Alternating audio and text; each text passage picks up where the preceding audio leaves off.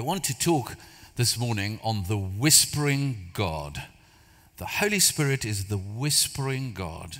And let me say this right at the outset nothing will transform your life as much as hearing and heeding God's voice.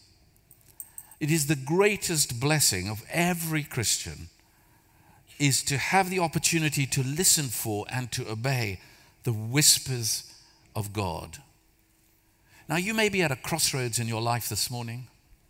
You may find that the life has been pretty tough in decisions that you have to make, where you're going to live, relationships that may just not be as, as good as you would want them to be, careers that are headed for a seeming dead end. And you need from God a fresh whisper, a fresh assurance. And I want to tell you, God has whispers for you. But first, let us look at a passage of Scripture. I want to read to you from the first book of Kings, chapter 19.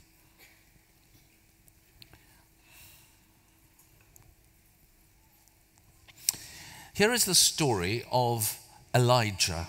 Now, Elijah had just had the great context, contest with the Baals. It's, um, it'll come on the screen in a moment. Elijah had this great contest with the Baals, and there was a 24 hour death warrant on his life. He was desperate. He faced a death threat. He was destitute and probably depressed. And he was under huge pressure. And he needed to get away. And he went, as we should always remember, when we're in moments like that, he went to Mount Horeb, which is where he, the mountain of God. And we pick up the story um, in verse 8. Elijah got up. He was feeling undernourished. He ate, he drank his fill, and he set out. Nourished by that meal, he walked 40 days and nights all the way to the mountain of God to Horeb.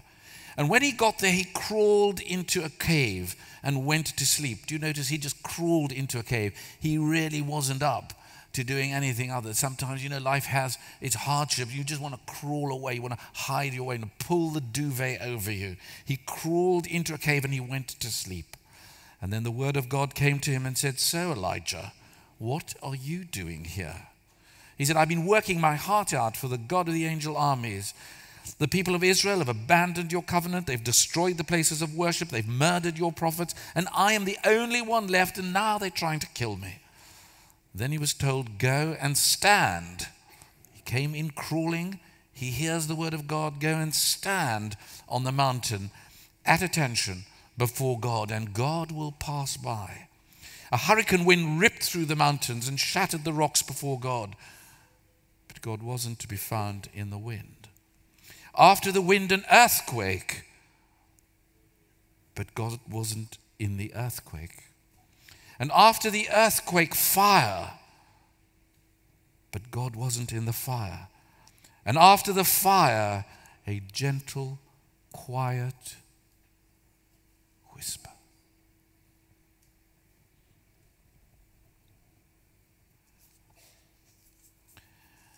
You know, God very rarely shouts. The devil does. But he often speaks to us in a whisper. He often nudges us. He often gives us an impression.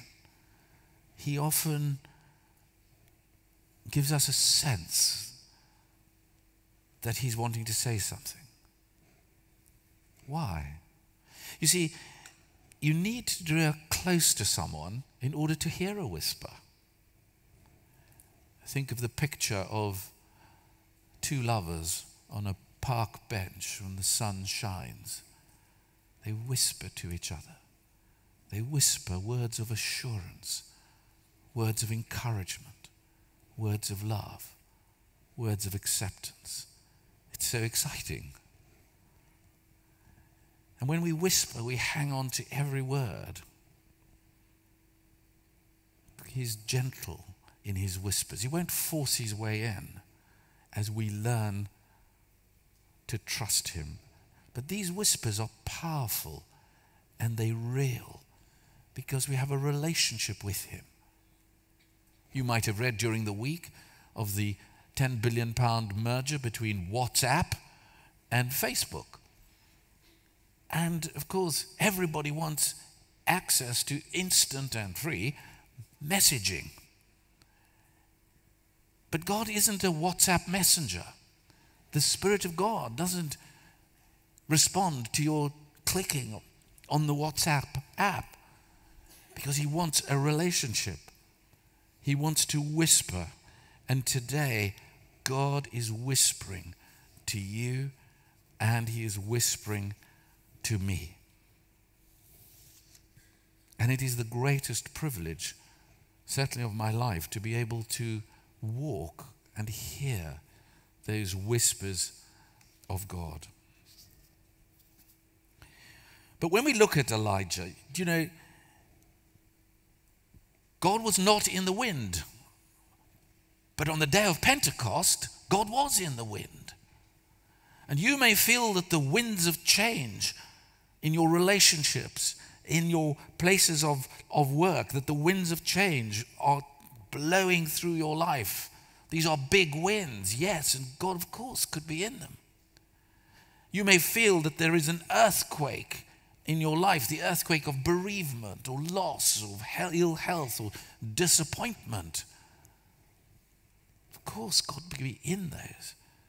He was, as we read in Acts, in an earthquake that saw the Philippian jailer converted. God can be in the fire, you know, the fires of temptation that come upon us when we burn with, with desire that is not from God. There's warning. Of course, He is there. But you see, in the case of Elijah, Elijah's head was like you and me in many cases. It was just stuffed full of all the noise, all the stuff, all the issues around it. You know that feeling? There's just so much, so much at work, so much at travel, so much in family, in relationships. The speed with which we deal with our WhatsApp or any of our any of our apps, the constant, just the constant 24-7 pressure and stuff of our lives. That's what you and I go through every day of the week. And so Elijah's head was filled with all of the stuff, which is why he crawled into the cave, but he stood up when God spoke to him. And that's true for you and me today. That we hear his voice, we hear those whispers, and we know that he needs to quieten our spirit as he needed to quieten Elijah. There was just too much going on in his head. He was about to be killed, he was desperate, he was depressed, he was destitute, he was hungry. But God spoke those gentle words in a whisper. Now, the Holy Spirit has got a whispering campaign. And these are some of those areas where He whispers to us. The Spirit of God whispers to wake faith. I remember this time of my life 40 years ago, and we had the great privilege, Nicky, uh, myself, Nicky Lee, and several others went back to Cambridge University, where 40 years ago our faith came alive. Can hardly believe it's 40 years on. And it was extraordinary just to remember those moments. Those moments when actually life was just carrying on in a very sort of happy way. And then there was a whisper from God in my life. I just mentioned, remember, it wasn't an audible voice. It was filled with some doubt and uncertainty. But it was a nudge, a sense that God was wanting to say something. And what he wanted to say was, I love you. And you can have a relationship with me. And you just need to put your trust with me.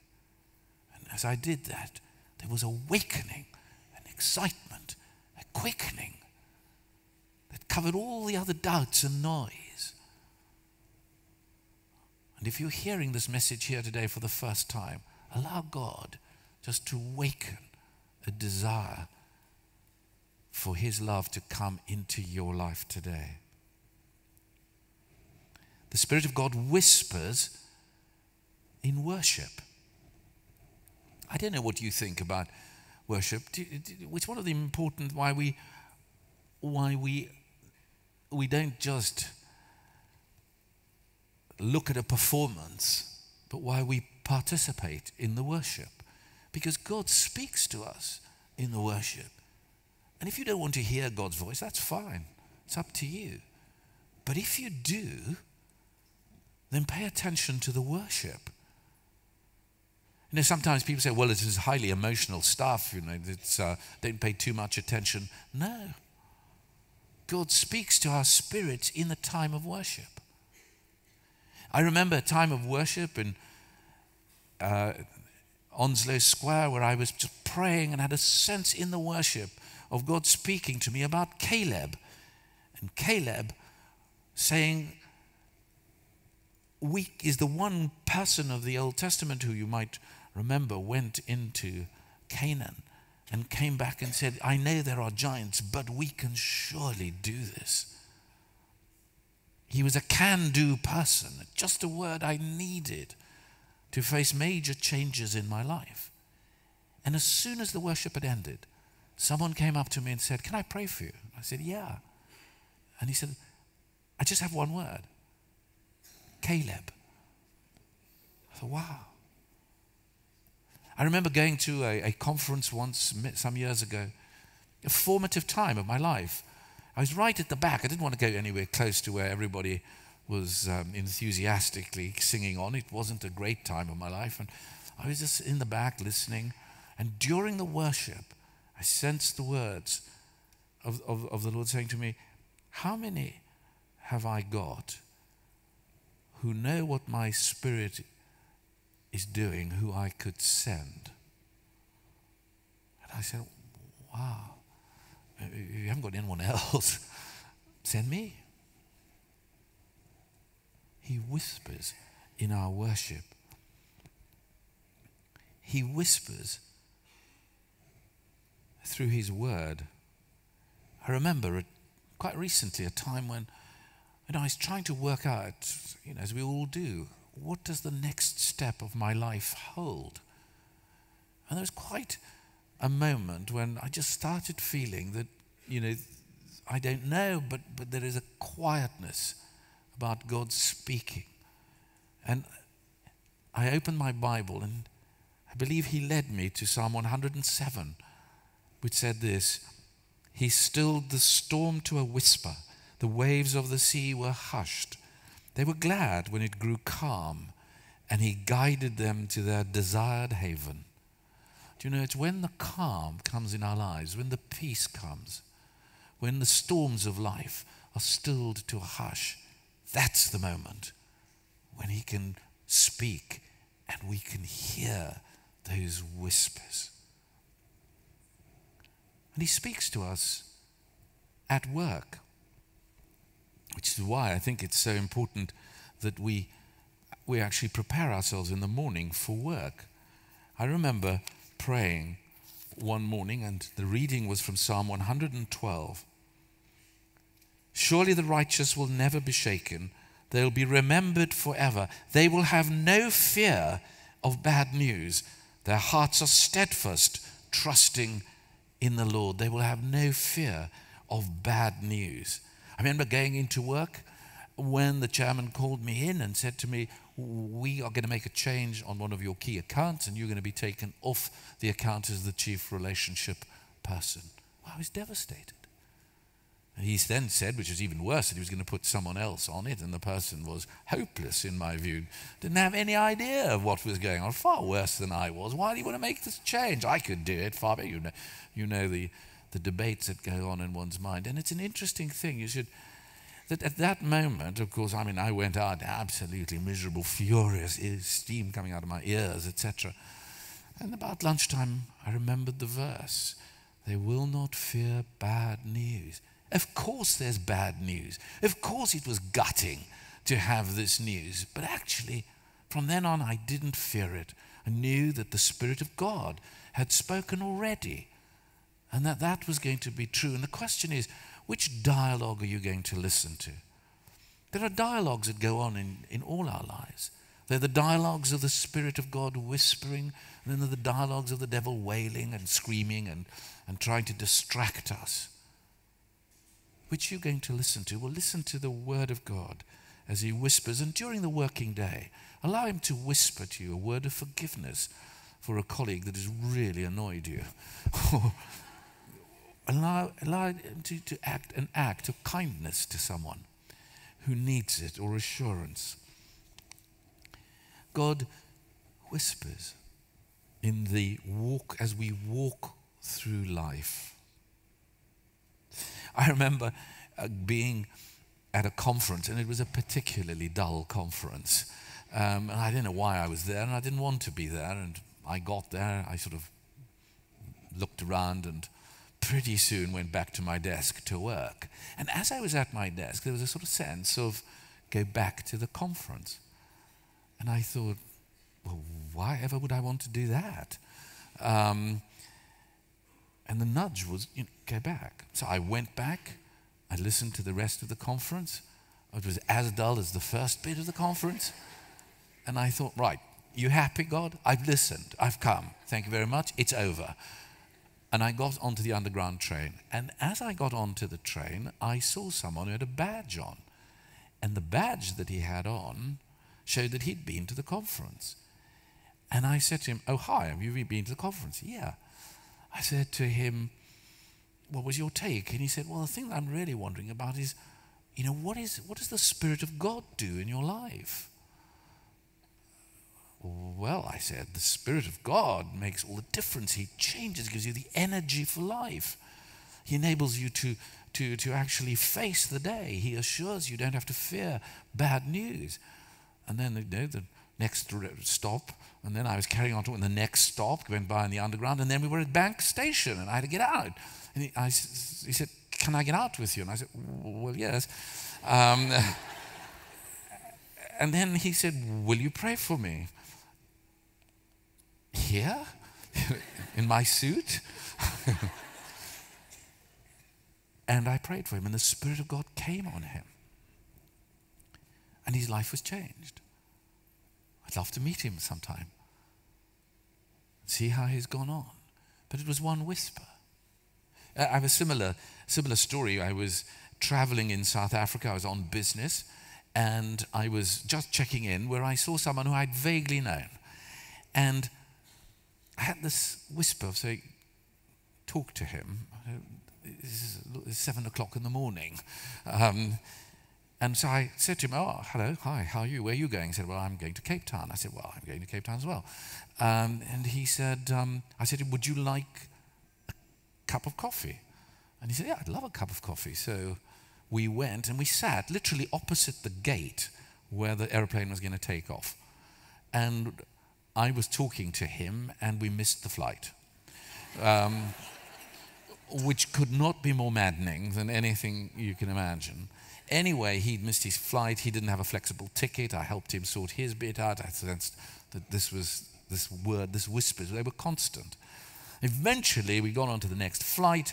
Um, I got in. I was on business. I was traveling in business class. Um, and I was just looking forward to a cup of coffee and a newspaper. And I looked back and saw him in the back of the aeroplane. And a little whisper said, um, Unfortunately, there was somebody sitting next to him. Um, and a little whisper said, Ask the guy next to him to swap with you. uh, business, back of plane. you sure? Yep. So I went up to the guy and said to him, um, Hey, do you mind swapping? So he looked rather grumpily and said, Well, where, where are you sitting? And I said, Well, up there. Oh, yeah. and for the next two and a half hours, I was able to talk to this guy about the issues in his life, which were many, and about the wonderful way in which the Spirit of God brings the forgiveness of God, the life of God, the energy of God, the passion of life to him and to his life.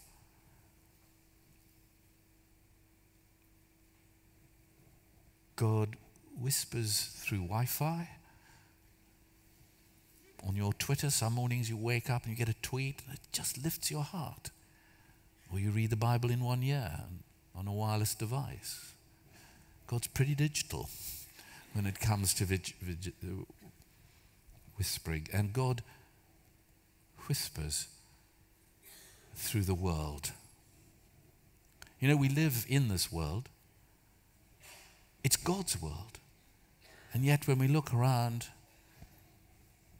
it's broken, it's painful.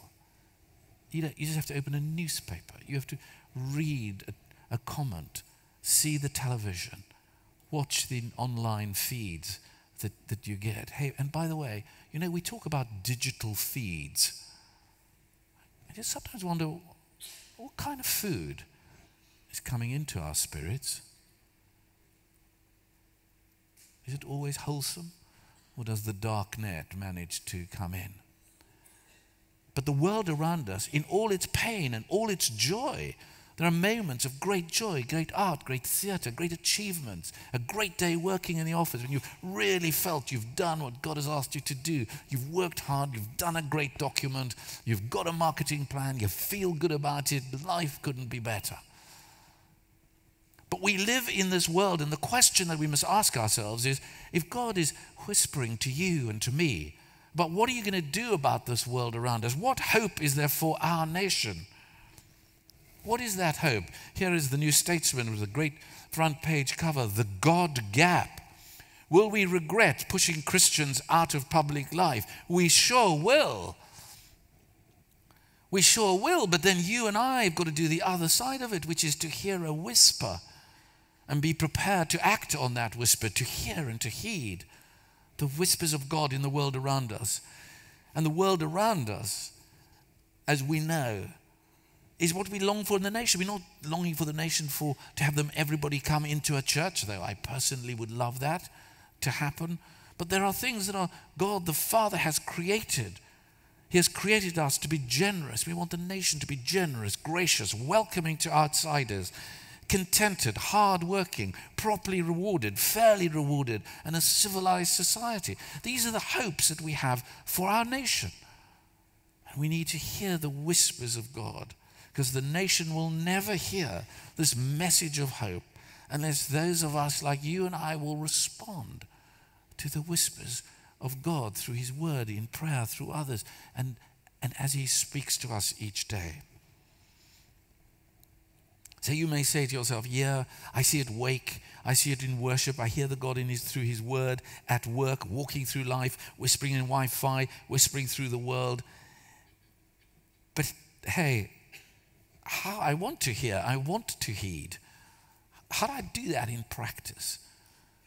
Well, let me tell you something simply in 3D. The first D, desire to hear.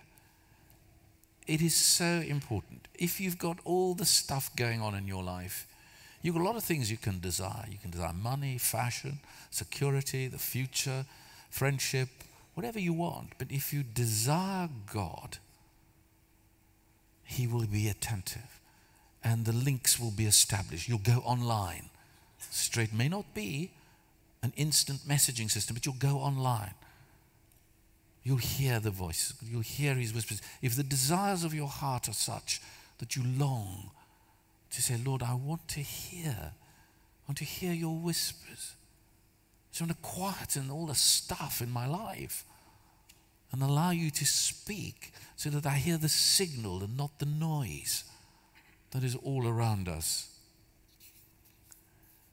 The second First is desire to hear his voice. The second is dredge to clear. Dredge to clear. Let me show you a picture. Do you recognize that? We've all seen the floods everywhere in the nation, haven't we? And there are many causes of them, but one of them is that the rivers have overflown their banks. And if those rivers overflow their banks, one of the ways that we could help is actually to dredge and to clear the silt, to clear the stuff, all the, all the sort of extra stuff that accumulates in our lives. Clear it out. You see, over any course of a day, over a week, over a month, all sorts of stuff comes into our life that we wouldn't want to have anger, despair, greed, and these things build up resentment. Dredged to clear the channel, to clear our lives, such that we can hear the whispers of God. And let me tell you this one other extraordinary phenomenon. There are sinking holes. And these sinking holes are completely unrelated to where those rivers have burst their banks. They come up without warning. And so it is with our lives. That if you allow the rivers to overflow and to the floodplains to, to, to burst their banks all over, then you will find sinking holes, things that you didn't expect, traps for you to fall into, moments that you'd hoped wasn't there, circumstances would overwhelm you. Just holes that you just fall into and you can't get out of. Dredged to clear and thirdly, deepen to stay near. Deepen to stay near. We need to be near to God. We can't make up the whispers, we can't press an app. But He's whispering to us. Are we going to put ourselves in a position where we deepen the relationship with Him through prayer, through reading the Bible, through meeting people, through being generous with our time and our energy and our money? And let me say this to you the best whispers of God in your life are yet to come. The biggest whispers in your life are in the future. You may think God has whispered to you and spoken to you in the past, but I really believe that the best whispers for your life are yet to come. And we want to pray that in today that we can see the best whispers of God as we grow from glory into glory and are called into this world to hear. What you've heard to date is nothing as to what you will hear. And you know, when Elijah heard this word of God, what did he do? How did he respond? You know, he was in that cave, and suddenly that cave was completely transformed. How did he respond? Well, the moment, of course, there was the question to Elijah Elijah, what are you doing here? And God spoke to him and said to him in very clear language, This is what the Lord said to him Go back the way you came and go to the desert of Damascus. Go back the way you came. Do you know when we run away from the big issues of life, the desperation and sometimes the depression and the hardship? Actually, we go to God and God says, Go back to where you are, to your job, which I know is hard, to the relationship which is difficult, to the issues that you have to face which are even more difficult. Go back because you go back with the whispers of God, the soft, gentle whispers. And I wondered what God whispered to Elijah. We don't know. But I've often wondered what it was that he said that was so extraordinary that Elijah got up immediately. He put his cloak over the face, over his face, and he went out and stood there to hear God. And then God said to him, Go and do something political. Go and anoint King Hazael. Go and anoint the king of Judah. It was an entirely political act. When God speaks, He doesn't just speak for us to be quiet amongst ourselves, He means it to have a wide effect on the community and the people around. And secondly, He said, Go and anoint Elisha as the next prophet to succeed you and go and speak to the 7,000 other people who had not bowed their knee to, the, to Baal and who were ready to take on and hear the whispers of God for the next generation. In one whisper, three generations of the people of Israel were changed, and their successors, prophetically, politically, and the people were in place to hear God's word. One whisper secured the prophetic and political future for the generations that were to come. And it is true for you and me today. One whisper. And we could hear and see our lives, our families, our relationships, our schools translate. Why? Because it's the whispers of God. And I know you may say, yes, you know, I understand God whispering, but you know, and I go through it. I'm not sure it's God. We go through that. But I want to assure you of one thing there is one whisper of God that is so clear, so powerful, so unambiguous, so unequivocal, so unquestionable, so audible as to be unmistakable.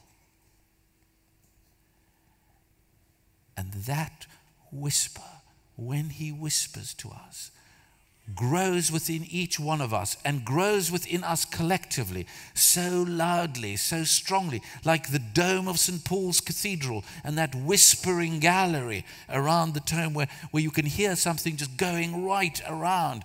It sounds so loud, so clear, so powerful. And that is when God whispers to you and to me about our worth to Him, our value to Him, of His death, that Jesus died on a cross for you and for me. And you may say to yourself, I'm worthless. No. You may be unworthy, but you're not worthless. Because He has given us all the worth of the Godhead all that was available to Jesus when he died on the cross, that was available to God the Father, the Son, and the Spirit, is given to you, to me. When Jesus came and died, he affirmed our worth. And when he whispers of your worth to him, you will never be mistaken. I promise you that there is one thing that will change your life if you heed, if you hear and you heed the whispers of God. We're about to have communion, and I want to read one of the ancient prayers of the church as a reminder to us that we are worth so much to God because He gave His Son for you and for me. Here it is in the old language of centuries that it has survived. We do not presume to come to this thy table, O merciful Lord, trusting in our own righteousness, but in thy manifold and great mercies. We are not worthy so much as to gather up the crumbs under thy table. But thou art the same Lord whose property is always to have mercy. Grant us, therefore, gracious Lord, so to eat the flesh of thy dear Son, Jesus Christ, and to drink his blood, that our sinful bodies may be made clean by his body, and our souls washed through his most precious blood, and that we may evermore dwell in him, and he in us. Amen.